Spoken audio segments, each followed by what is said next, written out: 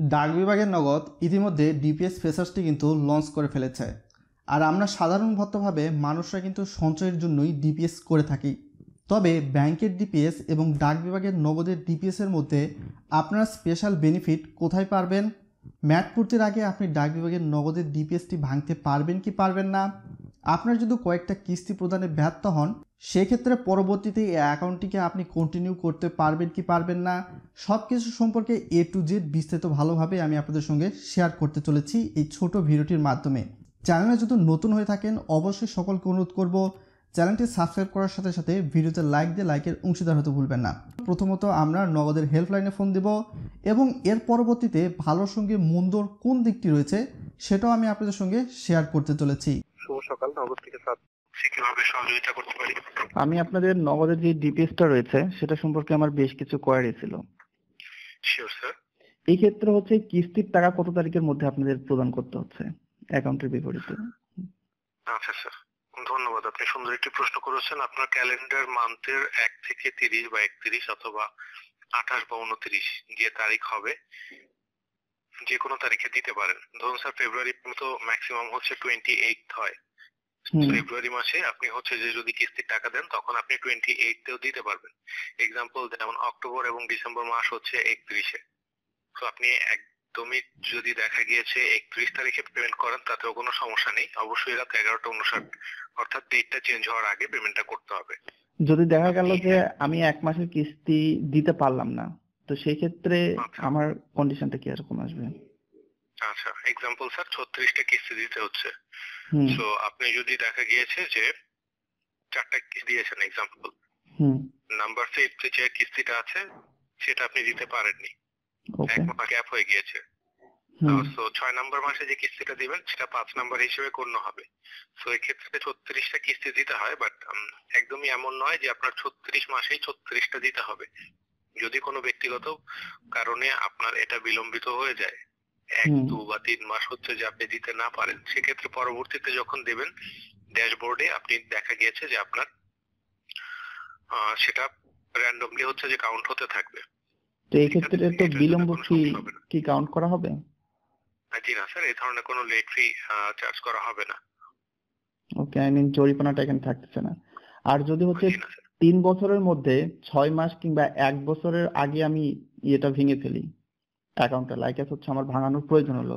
তো সেক্ষেত্রে কি ভাঙানো পসিবল ম্যাচ স্যার, শেষ করার যে কোনো সময় রিডিম করতে পারবেন বা ভাঙাতে পারবেন বাট প্রথম পাঁচটা কিস্তি দেওয়ার আগে যদি আপনি এটা ভেঙে ফেলেন এক দুই তিন চার এরকম কোন কিস্তিতে যদি আপনি এটা রিডিম করে ফেলেন তাহলে আপনার দশ হাজার টাকার জন্য তেইশ আর এক লক্ষ টাকার জন্য আপনার দুইশো তিরিশ টাকা আপনাকে চার্জ করা হবে। আপনি যদি পাঁচটা কিস্তি বা ইনস্টলমেন্ট আপনি পরিশোধ করেন এরপরে যদি এটা রিডিম করে ফেলেন তাহলে দেখা গিয়েছে আপনার কোনো চার্জ নেই। সো এমন যদি হয় যে পাঁচটার পরে যে কোনো সময় আপনার প্রয়োজনে আপনি এটা রিডিম করে ফেলেছেন লভ্যাংশটা পাচ্ছেন না বাট এছাড়া আপনার অন্য কোনো চার্জও দিতে হচ্ছে না। জি আপনাদের ওয়েবসাইটও সেটাই বলতেছে। আর এই ক্ষেত্রে সরকারি ট্যাক্স কিংবা ভ্যাটটা কীরকম আসবে কিংবা টিন সার্টিফিকেটের বিষয় এইগুলো কীরকম আসবে? আচ্ছা স্যার আপনাকে যে অ্যামাউন্টটা দেওয়া হবে ধরুন আপনাকে কিস্তি দিতে হচ্ছে এক লক্ষ টাকার জন্য দুই হাজার পাঁচশো নব্বই টাকা করে প্রতি কিস্তিতে। এখন আপনি ছত্রিশ কিস্তিতে দিচ্ছেন। সো আপনার তিরানব্বই হাজার দুইশো চল্লিশ টাকা আসছে আপনার হচ্ছে যে ছত্রিশ মাসে কিস্তির অ্যামাউন্ট বাট আপনাকে তো লভ্যাংশ সহ দেয়া হবে এক লক্ষ টাকা। ওকে।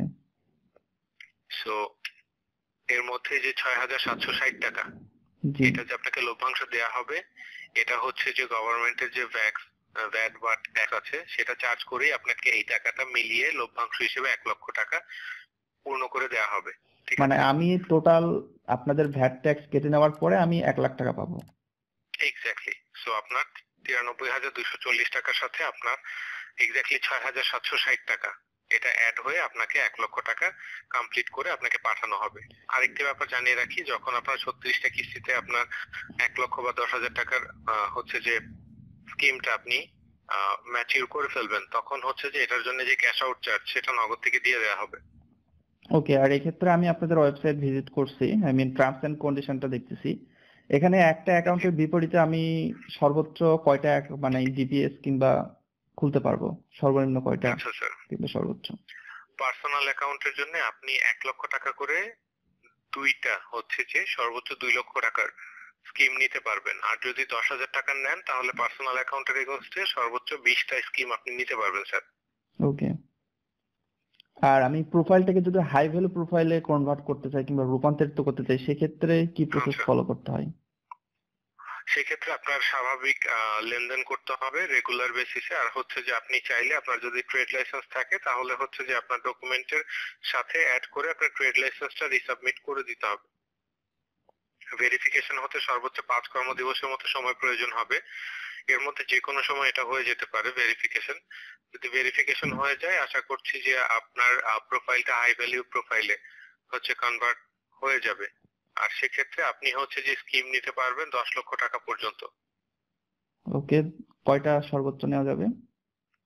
আচ্ছা আপনি হচ্ছে যে দশ লক্ষ টাকা পর্যন্ত যে স্কিম নিতে পারবেন আমি একটু আপডেটটা আপনাকে চেক করে জানাচ্ছি স্যার এক্স্যাক্টলি কয়টা নিতে পারছেন। ওকে।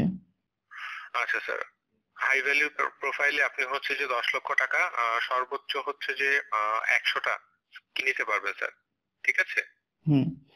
আর আমি যদি দেখা গেল ডিপিএসটা খুললাম। লাইক আছে আপনাদের দুইশো। কত টাকার যেন একটা আছে মেবি দুইশো উনষাট টাকা। তো আমি দেখা গেল যে পরের মাসে হয়তো বা দেখা গেল আমি দুইশো মানে দুই হাজার পাঁচশো নব্বই টাকাতে রূপান্তরিত করতে চাচ্ছিলাম। তো সেক্ষেত্রে কি রূপান্তর করা যাবে? জি না স্যার রূপান্তর করা যাবে না। আপনার স্কিমটা আলাদা আলাদা হয়ে থাকে। আপনি আলাদা একটা চুজ করতে পারবেন। ধরুন আপনি দশ হাজার টাকার একটা চুজ করেছেন যেটাতে আপনার দুশত উনষাট টাকা দিতে হচ্ছে। আপনার নেক্সট মান্থে বা যে কোনো সময় মনে হতে পারে যে আপনি আরও অ্যামাউন্ট আপনি স্কিমে নিবেন সেক্ষেত্রে আপনাকে এক লক্ষ টাকার একটা স্কিম অফার করা হবে। আপনি দুইটা একই সাথে কন্টিনিউ করতে পারবেন। ওকে আপনি চাইলে এমন ভাবেও নিতে পারবেন একটা এক লক্ষ টাকার আর বাকি হচ্ছে যে দশটা হচ্ছে যে আপনার আহ, দশ হাজার টাকার যেটার জন্য আপনাকে প্রতি কিস্তিতে দশ বারে দুইশো উনষাট টাকা করে দিতে হবে। আর এক লক্ষ টাকার জন্য যেটা নিচ্ছেন সেটা হচ্ছে যে আপনাকে দুই হাজার পাঁচশো নব্বই টাকা করে দিতে হবে। সকলকে অনুরোধ করব, আর দেরি না করে অবশ্যই ভিডিওটি আপনি আপনার বন্ধু বান্ধবের সঙ্গে শেয়ার করতে পারেন। বেনিফিটের সাথে খারাপ দিকও রয়েছে, তবে প্রথমে আপনি বেনিফিটগুলো কী কী পাচ্ছেন সেটা আপনাদেরকে জানিয়ে দেই।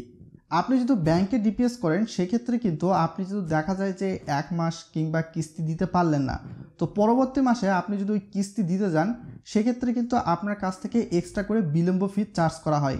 কিন্তু নগদে কিন্তু সেই বিলম্ব ফি চার্জ করা হচ্ছে না। এমনকি ব্যাংকে হয়তো বা পর্যায়ক্রমে তিন মাস কিংবা চার মাস আপনি যদি কিস্তি দিতে না পারেন, সেক্ষেত্রে কিন্তু ব্যাংক কর্তৃপক্ষ অ্যাকাউন্টটি আপনার বন্ধ করে দেয়। কিন্তু নগদের ক্ষেত্রে এই যে আপনার যে কয়েক মাস কিস্তি দিতে না পারলেন, পর্যায়ক্রমে এক মাস কিংবা দুই মাস, তিন মাস, সেক্ষেত্রে আপনার কোনো সমস্যা নেই অ্যাকাউন্টটি তারা বন্ধ করবে না। কিন্তু পরবর্তীতে আপনার মোট ছত্রিশটা কিস্তি হলেই আপনি আপনার মুনাফার টাকা এবং মূল টাকা এবং ক্যাশ আউট চার্জ সহ কিন্তু আপনার নগদ অ্যাকাউন্টে পেয়ে যাবেন।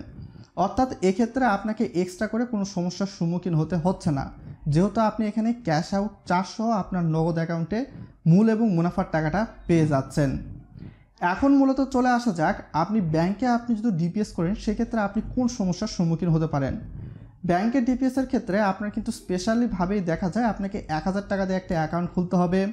তাছাড়া আপনি যদি ব্যাংকে আপনি ডিপিএসের জন্য অ্যাকাউন্ট খোলেন, সেক্ষেত্রে অ্যাকাউন্ট মেনটেন্স বাবদ charge S M S charge আরও অনেক হিডেন চার্জ কিন্তু ব্যাংকে থেকেই থাকে।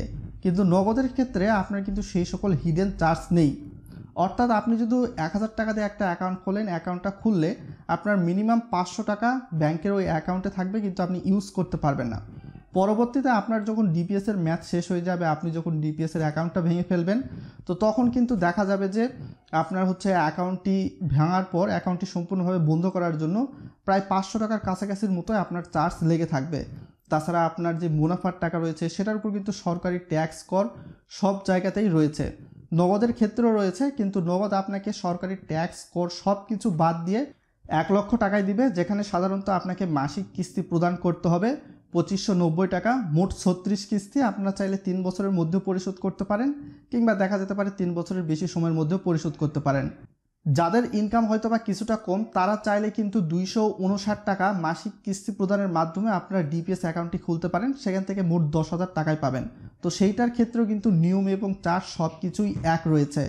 ব্যাংকের ক্ষেত্রে ম্যাথ পূর্তির আগে অ্যাকাউন্টটি ভাঙাতে গেলে অবশ্যই আপনি যে মাসে অ্যাকাউন্টটি ভাঙান না কেন, সেক্ষেত্রে অবশ্যই আপনার অ্যাকাউন্ট ভাঙার জন্য একটা নির্দিষ্ট পরিমাণ হারে চার্জ অন্তর্ভুক্ত হয়ে থাকে। ডাক বিভাগের নগদের আন্ডারে আপনি যদি ডিপিএস করে থাকেন, সেক্ষেত্রে অবশ্যই একদম ম্যানুয়ালি অর্থাৎ ভিন্নভাবে আপনাকে ডিপিএসের জন্য এক্সট্রা করে পে করতে হবে। আপনি যে ডিপিএসটি করতেছেন, অর্থাৎ আপনার অ্যাকাউন্ট থেকে সরাসরি ডিপিএসের জন্য নগদ টাকা কেটে নেবে না। কিন্তু আপনি যদি আরেকটা কথা চিন্তা করেন, ব্যাংকে হয়তো বা আপনার মুনাফার রেট দেখা যেতে পারে ফাইভ পয়েন্ট এইট থেকে সিক্স পার্সেন্টের মধ্যে। তবে সেক্ষেত্রে আপনাকে কিন্তু ব্যাংকে এক্সট্রা আরও অনেক চার্জ প্রদান করতে হয়।